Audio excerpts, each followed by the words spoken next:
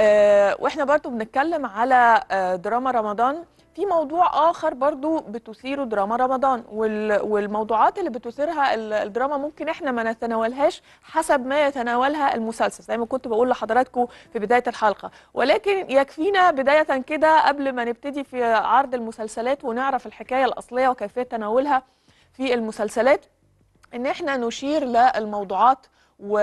و... ومن الحاجات الحلوة برضو إن هي بتخلينا إن إحنا آه، نقرب من قضايا العائلة مرة أخرى ونشوف اهتمامات البيوت ودي حاجة من الحاجات القضايا المهمة جدا اللي هي مشاكل الأسر قضايا الأسر وقضايا ال- البيوت. آه، في دراما رمضان مسلسل كامل العدد ال- المفروض هيعرضوا آه، شاشات ال- المتحدة في رمضان القادم بإذن الله.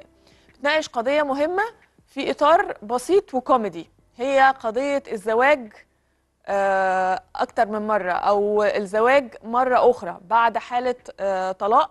وهنا بقى في كامل العدد البطلة اتطلقت وموت آه، زوجة البطل. المسلسل ده بطولة النجمة الكبيرة إسعاد يونس اللي بترجع للشاشة الصغيرة. بنقول لها الحمد لله على سلامة ونورتي الدنيا من خلال المسلسل. والنجمة أيضا دينا الشربيني والفنان شريف سلامة. قصة المسلسل طبعا موجودة في بيوتنا موجودة في الواقع موجودة عند قرايبنا عند جيراننا عند ال... في مجتمعنا عايشة بينا.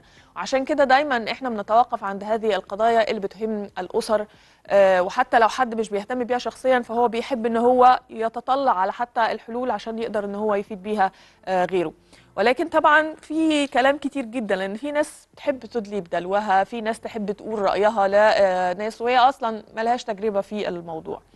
تعالوا بقى نروح لأهل الاختصاص. آه، استشاري العلاقات الأسرية دكتور أسماء مراد هتقول لنا رأيها في الموضوع ده وإزاي من مني بهذه التجربة يقدر إن هو يتخطاها ويتخلص منها.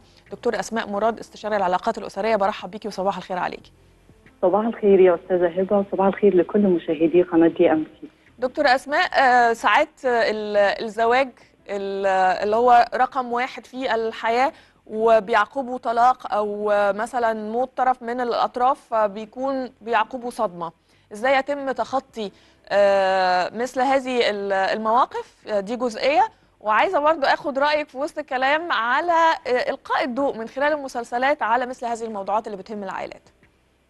اولا أنا بحيي كل العاملين في المسلسل. أنا طبعا شفته مسلسل رائع جدا. بيتناول قضية فعلا حقيقية وواقعية. بس في عندي ثلاث نظريات حابة أقولهم الأول. في عندنا ثلاث نظريات. أول نظرية إن اللي سبق ليهم الزواج بيكون عندهم خبرة. بيبقوا عندهم آه، عرفوا إيه اللي اللي المفروض يعملوه إيه اللي المفروض مش بيعملوه. ده بيخلي الزيجة الثانية تنجح. تمام؟ في عندي نظرية ثانية بتقول إن الزواج التاني لما يتم بسرعة بيكون الشخص لسه جواه آه، مشكلات عدم ثقة بالآخرين قلقان طول الوقت من الشريك الجديد واخد معاه كل الاضطرابات النفسية اللي حصلت له والأزمات وما قدرش يتخطاها فبالتالي الزيجة الثانية دي ممكن تفشل. لكن آه، في نظرية ثانية بتقول إن الجواز لما بيتم بسرعة الإنسان فعلا بيبقى جواه عدم ثقة ومشكلات كبيرة قوي بيفضل قلقان وده طبعا بيخلي الزيجة ما تكملش. في ناس بتتعلم من الدرس وبالعكس بتنجح جدا. دي الثلاث نظريات اللي بتحصل. وعايزين نقول إن كمان في تقارير لعلماء الاجتماع بتقول إن فشل الزيجة الثانية معدلاته أكبر بكتير من فشل الزيجة الأولى. يعني الزيجة الأولى ممكن نقول 35% في حالات الزواج الثاني توصل ل 65% يا أستاذة هبة.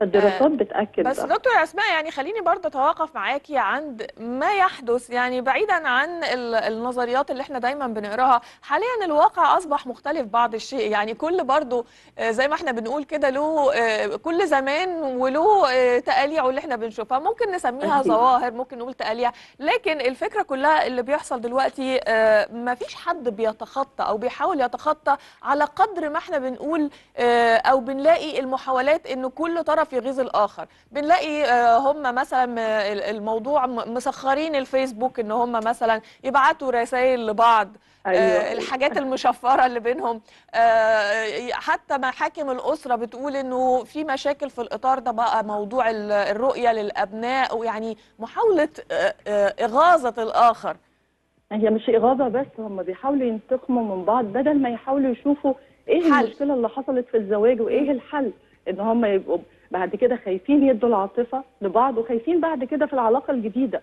فهم بيحكموا على نفسهم بالفشل في العلاقتين. أعتقد إن المفروض يعني يا إما يعيشوا بالمعروف يا إما ينفصلوا بالمعروف وده نادر الحدوث. بس في حالات يا أستاذة هبة إحنا بنشوفها واقعية بيبقوا أصدقاء. يعني مش الصداقة الحقيقية ولكن صداقة من أجل الأبناء خصوصا لما يكون نتيجة الزواج في أبناء. نفسيتهم هي رقم واحد بالنسبة لنا. فلو هما الاثنين فكروا إن هم مش بينفصلوا عن أنفسهم بس يعني مش بكل مش كل حد بيسيب التاني هم كمان بيفكروا إن هم منفصلين عن أولادهم. مم. فالأب حتى لو متيسر ماديا أحيانا بيعاقب الحرمان المادي. والأم نفس الوضع هي مش قادرة تعمل أي حاجة غير الحرمان العاطفي وكتير حالات شفناها كده. الحل دايما عشان يتناسوا كل المشاكل يفكروا في أولادهم لو في زيجة تانية يفكروا إيه الأخطاء اللي عملوها. في في الزيجة الأولى ويتلاشوها. ولازم ياخدوا وقت. يعني إحنا قلنا في الثلاث نظريات إن في ناس بتتجوز بسرعة جدا. داويني بالتي كانت هي الداء.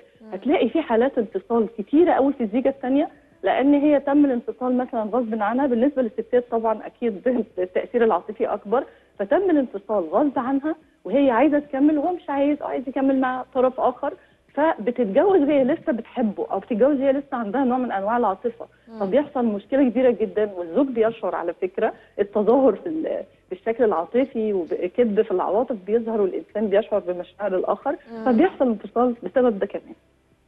يعني آه، هل بيكون برضو سواء راجل أو سيدة آه، الموضوع هو التخطي تخطي ال- ال- ال- الصعاب بقى التحديات آه، سواء أكيد. هي بقى انفصال أو غيره ق- كانت قصة حب لكن فكرة التخطي اللي هو الأجانب بيقولوا عليها let go إن أنت الترك أو التخلي هل دي أيوة. مش مش يعني هي أصبحت هي المشكلة الأساسية دلوقتي؟ التخطي أيوه طبعا يعني إحنا في قاعدة فقهية جميلة قوي أنا بحبها هي التخلية قبل التحلية أنا لازم الأول. أتخلص من كل الأعراض النفسية اللي عندي أتخلص من كل المشاكل اللي حصلت وبعدين أبتدي على صفحة بيضاء. تعمل ديتوكس يعني. أيوه المفروض. فهي المفروض تتغلب على كل العقبات دي. وأنا شفت المسلسل وعجبني قوي وصف الفنانة الجميلة يعني إسعاد يونس إن هي إيدها على الأكرة.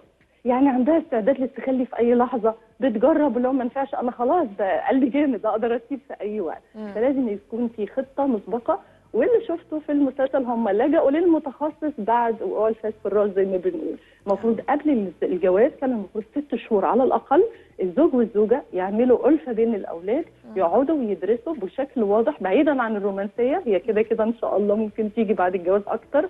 ويكتبوا إيه اللي حصل في حياتك مع زوجك قبل الزواج؟ في الزيجتين لأن هي اتجوزت مرتين. وإيه اللي حصل معاك مع زوجتك آه، اللي توفاها الله برضه في حياتك؟ ويبتدوا يعملوا بلان أو خطة مشتركة أنا هتخلف آه، يعني هتغافل في أشياء وأنت كمان تتغافل في أشياء. آه. كل الزيجات الناجحة يا أستاذة هبة فيها نوع من أنواع التغافل الرائع بين الاثنين بحب ومحبة. مم. لكن ال- النقطة الخطيرة اللي بنسمعها كتير في العلاقات الأسرية هي أنا هغيره بعد الجواز.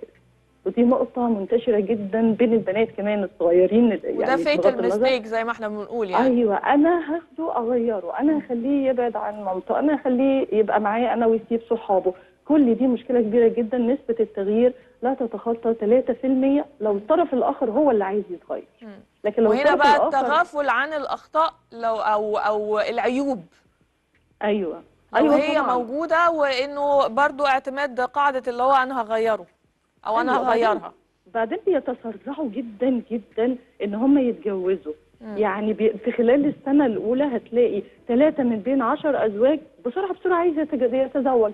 إما هي عايزة تغيظه أنا لسه مرغوبة أو هو عايز يغيظها بزوجة ثانية ابعدوا تماما وتلاشوا جدا ال- الخلافات اللي ما بينكم والصراعات مع الأبناء ما تخليهمش ضحايا ومع أنفسكم. لأن أنت هتبتدي حياة جديدة. ليه تاخد معاك كل ال. يعني هو دايما اللي بيفضل باصص لورا بي بي بينقلب تاني.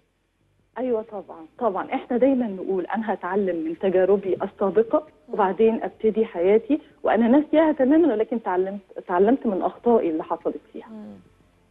يعني دكتور أسماء طبعا ال- الموضوع محتاج حلقات وحلقات لأنه يعني آه، على حسب كل حالة لابد إن إحنا يعني ندرسها ونتكلم عليها ونقدمها لل- للمشاهد. لأنه الموضوع كبير جدا ومحتاج محتاج فرد ليه حلقات لأنه ده استقرار أسر وطريقة كمان تفكير وطريقة تقبل الآخر. عايزة أقول لك على نقطة بلاش ندخل الجروبات ال- النساء السرية والرجال السرية وناخد تجارب الآخرين لأن هي كل تجربة بتكون تجربة فردية ما ينفعش ابدا أنفذ والله هو حتى من غير ما. يدخلوا جروبات يعني برضو. إنه إنه إنه على طول الناس بتبادر إن هي تحكي أسرار اسرها ما ده برضو مش صح ابدا طبعا يعني الأسرار دي بنحكيها لما يكون في حد متخصص أو حد من الأسرة حكم من أهلها وحكم من أهله. لو هم مش قادرين وصراعات كبيرة قوي ما بينهم يا ريت ندخل ناس تانية ثقة من أقارب أصدقاء ويتكلموا مع بعض يكونوا هو برضو يا دكتور أسماء مش كل قريب محب. ومش كل. مطلع ومش آه، كل. مطلع على جزئية هو مطلع على باقي ال- الأمور ومش عارف كمان وجهة نظر الشخص الآخر أحسنتي لأن ممكن يبلغوا الزوج أو الزوجة كلام بيتحور أو حسب فهمه برضو عشان تكون نيتنا أو يكون معاك يكون نيته عايز. يخرب البيت أيوه فعلا ممكن يكون حد يعني شفنا حالة غريبة جدا إن كان معجب بالزوجة وبيح... مش بيحاول يصلح لأ هو بيحاول يفرق عشان كان عايز يجوزها مثلا طب يعني إحنا مش بنعمم أكيد دي حالات فردية بس دايما خلوا اسراركم مع بعض. ومعظم الخلافات اللي حصلت وأسباب الطلاق ابتدت بأسباب تافهة. عنده عربية عنده بيت هي جميلة هي كذا. ما ركزوش على الصفات الفردية لكل شخص منهم وما ركزوش إن هم يبقوا مجتمعين ومتفقين هيعملوا إيه في حياتهم بشكل عملي. يعني دايما أقول فكري في أسبوع كامل فكري في شهر كامل فكري سنين هتعيشوا إزاي مع بعض في التجارب ال- الاجتماعية والاقتصادية كل حاجة مع بعض في الحياة بغض النظر عن الحياة الرومانسية اللي كله بيحاول يظهر أحسن ما عنده وبيتلاشوا شخصيتهم الحقيقية إن هي تظهر لبعض. بشكرك دكتور أسماء مراد استشاري العلاقات الأسرية وللحديث بقية لأنه الموضوع ده زي ما قلت كده مش هينفع إن إحنا نلمه في حلقة أو اتنين.